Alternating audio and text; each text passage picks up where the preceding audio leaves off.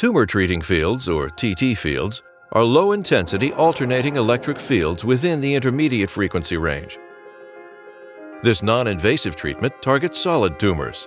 TT fields are generated via pairs of transducer arrays placed directly on the skin surface. TT fields disrupt cell division through physical interactions with key molecules during mitosis. There are two well-established physical processes that TT fields use to disrupt dividing cells. Dipole alignment.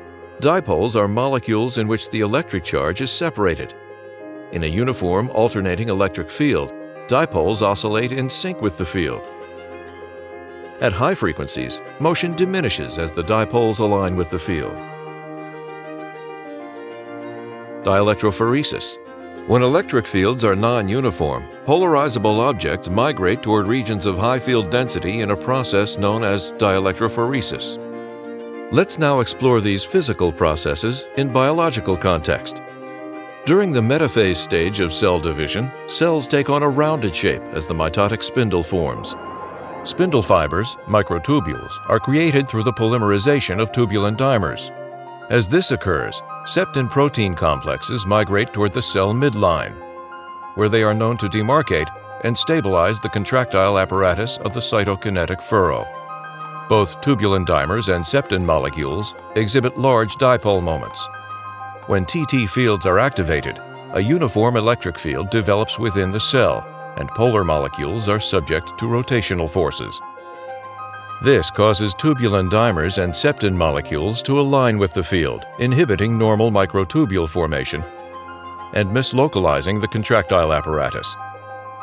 Disruption of the spindle structure and mislocalization of the contractile apparatus lead to membrane blebbing during anaphase, prolonged mitosis, and mitotic cell death. Deformed cellular structures resulting from TT fields can also lead to abnormal DNA segregation between daughter cells and eventually cell death. In cells that manage to complete metaphase and enter cytokinesis, the hourglass shape that forms leads to a non-uniform electric field within the cell.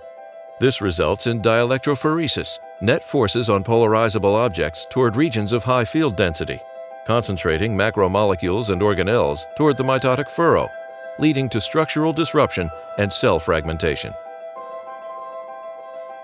The extent of electrical non-uniformity in dividing cells is dependent on the frequency of the TT fields, the electric properties of the cell, and the orientation of the dividing cell relative to the field.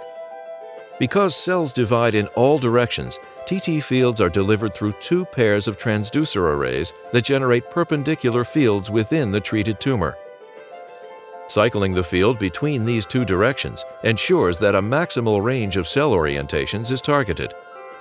Optimal tuning of field frequency to specific cell type further increases electrical non-uniformity, maximizing TT field's anti-mitotic effect without affecting non-dividing cells. TT fields exhibit a low toxicity profile due to their regional mode of delivery and frequency-specific treatment of cancerous cells.